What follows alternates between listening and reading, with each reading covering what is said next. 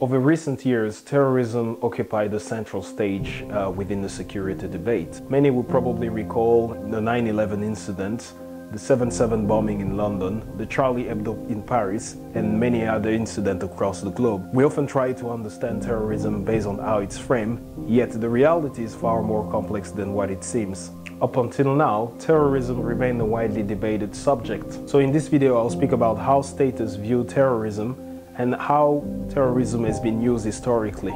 There's a widespread tendency nowadays by many states to represent terrorism as a strategy used by some sort of clandestine agents. For instance, the State Department defined terrorism as a premeditated, politically motivated violence perpetrated against non-combatant targets by subnational groups and clandestine agents, usually to influence an audience. And we can say that since 9-11, many policymakers and state representatives share this view. This notable definition is a clear example of how the state is trying to make sense of terrorism by already predefining the perpetrator as a subnational group or clandestine agent. Well, in reality, terrorism is not self-evident, which means that people or groups who use this type of violence do not describe themselves as terrorists. The term is never voluntarily adopted by any individual or group. This led to the famous expression that one man's terrorist is another freedom fighter. I'll give a couple of examples. During the apartheid in South Africa, the white minority introduced a policy of marginalization and repression of native South African, Indian, and mixed race. When the African National Congress decided to take up arms to fight against what they saw as a repressive government, they were labeled as terrorist organization both by the State Department and the apartheid government. In fact, Nelson Mandela was considered a terrorist up until 2008 by the US government. And the second example, the conflict in Ireland started when the British decided to split up the country into two. The South, which was mainly Catholic, wanted a united Ireland, but part of the North, which was Protestant, wanted to remain part of the United Kingdom. As a result, the Irish Republican Army was formed. In the eyes of the British government, the Irish Republican Army was a proscribed terrorist group, but the Irish Republican Army saw themselves as a nationalist group.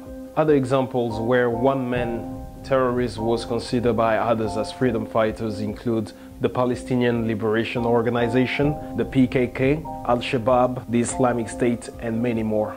These examples, amongst many others, illustrate how terrorism is not that simple and evident. Historically speaking, states were the biggest producer of terror. The term terrorism was first used to describe the directed violence, the state-directed violence against citizens during the French Revolution. The first dictionary described terrorism as a système de terreur, which means institutionalized violence.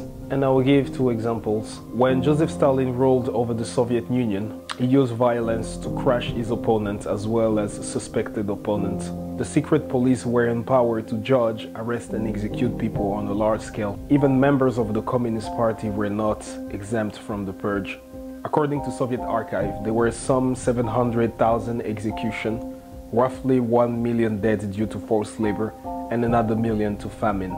The second example is King Leopold II of Belgium. Between 1885 and 1908, he acquired the Congo as his personal property. He introduced a series of forced labor to extract natural resources, to psychologically control the Congolese population and prevent any form of uprising widespread killing, beating and frequent body mutilation were used. As a result, it is estimated that 10 million people died because of this violence. Other examples of state terrorism where thousands and millions died include Pol Pot of Cambodia, Emperor Nero of Rome, Mao Zedong and the list goes on. There are three points I would like to make. First of all, terrorism is not that obvious. Nobody goes on the street and describe himself as terrorist the second point I would like to make is what we call terrorism or terrorist may be called something else by other people and vice versa. The third element is well, have the state have labeled other people as terrorists. Historically speaking,